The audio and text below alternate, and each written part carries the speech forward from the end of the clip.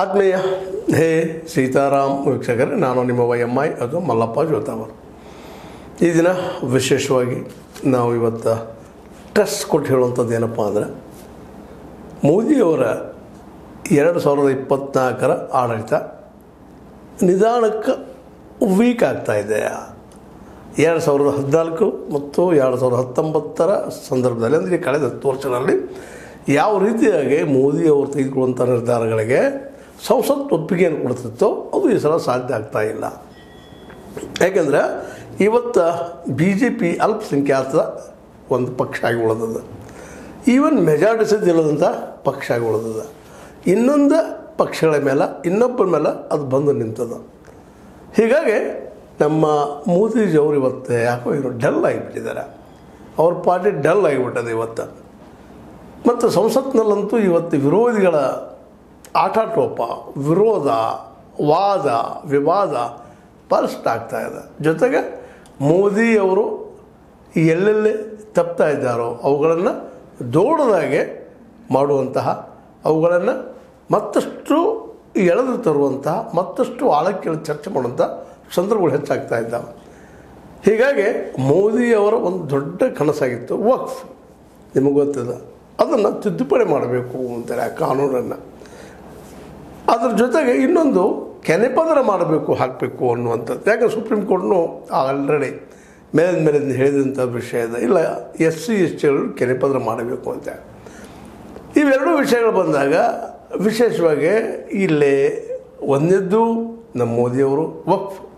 ಏನೊಂದು ತಿದ್ದುಪಡಿ ಹೊರಡ್ರು ಆ ಸಂದರ್ಭದಲ್ಲೇ ಎರಡು ಸಾವಿರದ ಹದಿನಾಲ್ಕು ಅಥವಾ ಎರಡು ಸಾವಿರದ ಹತ್ತೊಂಬತ್ತರಲ್ಲಿ ಇದಾಗಿದ್ದರೆ ಅದು ಅದು ಚರ್ಚೆನೇ ಆಗೋದು ದಾಟಿ ಹೋಗ್ಬಿಡ್ತಾ ಇತ್ತು. ಒಪ್ಪಿಗೆ ಕೊಡ್ತಾ ಇದ್ರು ಧ್ವನಿಮದ್ದಿಂದ ಮುಗಿದೋಗ್ಬಿಡ್ತಿತ್ತು ನಾವು ಈ ಸಲ ಹಾಗಿಲ್ಲ. ಯಾಕಂತಂದ್ರೆ ವಕ್ಫ್. ನೀವೇನಾದರೂ ಮುಟ್ಟಕ್ಕೆ ಹೋದ್ರೆ ನಿಮಗೆ ವಕ್ಫಕ್ಕೆ ಒಪ್ಪಿಗೆ ಬೇಕಾಗಿದೆ ನಮ್ಮ ಮೊದಲೇದಾಗಿ ನಾಯ್ಡು ಅವರಿಂದ.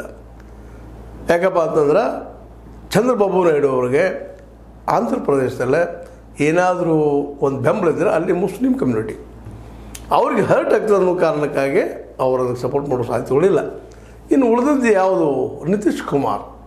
ನಿತೀಶ್ ಕುಮಾರ್ ಆದರೂ ಸಹಿತ ಅಲ್ಲಿಯ ಮುಸ್ಲಿಮರನ್ನು ವಿರೋಧ ಹಾಕೊಳ್ಳಿಕ್ಕೆ ಅವ್ರಿಗೂ ತಯಾರಿಲ್ಲ ಯಾಕೆಂದರೆ ಮುಂದಿನ ವರ್ಷ ಅವ್ರಿಗೆ ಇಲೆಕ್ಷನ್ ಅದ ಬಿಹಾರದಲ್ಲ ಹೀಗಾಗಿ ನಿತೀಶ್ ಕುಮಾರ್ ಅವರ ಮತ್ತು ನಾಯ್ಡು ಅವರ ಸಪೋರ್ಟ್ ಅದಕ್ಕೆ ಸಿಗುವುದಿಲ್ಲ ಅನ್ನೋ ಕಾರಣಕ್ಕಾಗಿ J P C joint parliamentary ಕಮಿಷನ್ಗೆ ಕಳಿಸಿಬಿಟ್ರೆ ಅದನ್ನು. ಇದು ನಿಜವಾಗಿಯೂ ಮೋದಿಯವ್ರಿಗಾದಂಥ ಸೋಲು, ಆರ್ ಎಸ್ ಎಸ್ಗಾದಂಥ ಸೋಲು. ಈಗ ಮೋದಿಯವ್ರ ಮುಂದೆ ಒಂದಿಷ್ಟು ಸಮಸ್ಯೆಗಳು ಬಂದಿದ್ದಾವಪ್ಪ ಅಂದರೆ ಒಂದು ಕಡೆ ಹಿಂದುತ್ವ ಹಿಡ್ಕೊಂಡು ಹೋಗಬೇಕು. ಅದು ಎಲ್ಲಿ ಬೇಕಾದ್ರೆ ಆರ್ ಎಸ್ ಎಸ್ ಪ್ರಿಫರೆನ್ಸ್ ಕೊಡಬೇಕು.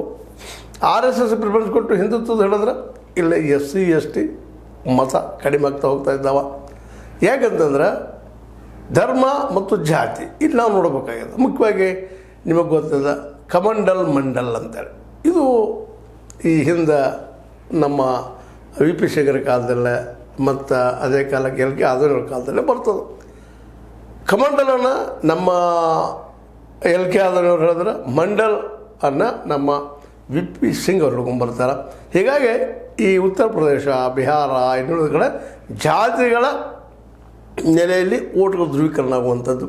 ಇನ್ನುಳಿದ ಕಡೆ ಧರ್ಮದ ನೆಲೆಯಲ್ಲಿ ಮಾಡಿದ್ದಾರೆ ಮಂಡಲ, ಇದು ಕಮಂಡಲ.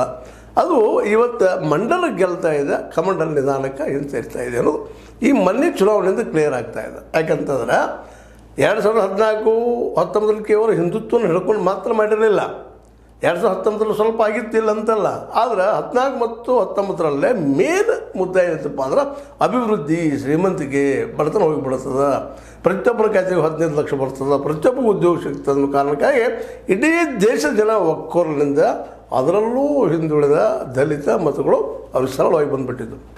ಅದು ಈ ಸಲ ಆಗಲಿಲ್ಲ, ಎರಡು ಸಾವಿರದ ಇಪ್ಪತ್ತ್ನಾಲ್ಕರಲ್ಲಿ ಭಾಳಷ್ಟು ಏರಿಯಾಗಳಲ್ಲೇ ಇವರಿಂದ ಹಿಂದುಳಿದ ಮತ್ತು ದಲಿತ ಮತಗಳು ದೂರ ಸರಿದು ಹೋಗಿಬಿಟ್ಟು ಆ ಕಾರಣಕ್ಕಾಗಿಯೇ ಇವತ್ತು ಅಲ್ಪಸಂಖ್ಯಾತರಾಗಿ ಉಳಿದಿದ್ದಾರೆ ನಮ್ಮ ಬಿ ಜೆ ಪಿಗರು ನಮ್ಮ ಮೋದಿಯವರು. ಹೀಗಾಗಿ ಮೋದಿಯವರು ಇವತ್ತು ಮೊದಲನೇದಾಗೆ ಎಸ್ ಸಿ, ಎಸ್ ಟಿ ವಿರೋಧ ಆಗಿರ್ಬೋದು, ಅಥವಾ ಅಲ್ಲಿ ರಿಸರ್ವೇಷನ್ ಬಗ್ಗೆ ಆಗಿರ್ಬೋದು, ಅವ್ರು ಏನು ಪರಿವರ್ತನೆ ಮಾಡಲಿಕ್ಕೆ ಸಾಧ್ಯ ಇಲ್ಲ. ಅದೇ ಕಾಲಕ್ಕೆ ವಾಫ್, ಮುಸ್ಲಿಮ್ಸ್. ಮುಸ್ಲಿಮರು, ದಲಿತರು, ಹಿಂದುಳಿದವರು ಒಂದಾದ್ರೆ ಹೆಚ್ಚು ಕಡಿಮೆ ಸೆವೆಂಟಿ ಪರ್ಸೆಂಟೇಜ್ ಈ ಜನನ ಆಗ್ತಾರೆ ಅಂತ ಈಗಾಗಲೇ ನಾವು ಹಲವು ಸಲ ನಮ್ಮ ಚರ್ಚೆಯಲ್ಲಿ ಹೇಳಿದ್ದೀವಿ. ಅದಕ್ಕಾಗಿ ಇವತ್ತಿನವರೆಗೂ ಸಹಿತ ನಮ್ಮ ಮೇಲ್ವರ್ಣೀಯ ಕಮ್ ಈ ಒಂದು ಪಕ್ಷಗಳು ಈ ಜಾತಿ ಗಣತಿಯನ್ನು ಮಾಡಲಿಕ್ಕೆ ತಯಾರಾಗ್ತಾ ಇಲ್ಲ. ಹತ್ತೊಂಬತ್ತು ನೂರ ಮೂವತ್ತೊಂದರೊಳಗೆ ಏನೋ ಆಗಿತ್ತು ಏನು ಬ್ರಿಟಿಷರ ಕಾಲದಲ್ಲಿ. ಅದರ ನಂತರ ಜಾತಿ ಒಂದು ಏನಪ್ಪ ಅಂತಾರೆ ಜನಸಂಖ್ಯೆ ಸರ್ವೆ ಆಗೇ ಇಲ್ಲ. ಇವತ್ತು ಮಾಡಬೇಕಂತಂದ್ರೂ ಮಾಡಿಕೊಡ್ತಾ ಇಲ್ಲ. ಏನಾದರೂ ಕಾರಣ ಹೇಳಿ, ಏ ಒಳಗೆ ಹುಟ್ಟಿಸ್ತೀರಿ ನೀವು. ದೇಶ ಒಂದಾಗಿದೆ ಒಕ್ಕಟ್ಟಾಗಿದೆ ಏನೇ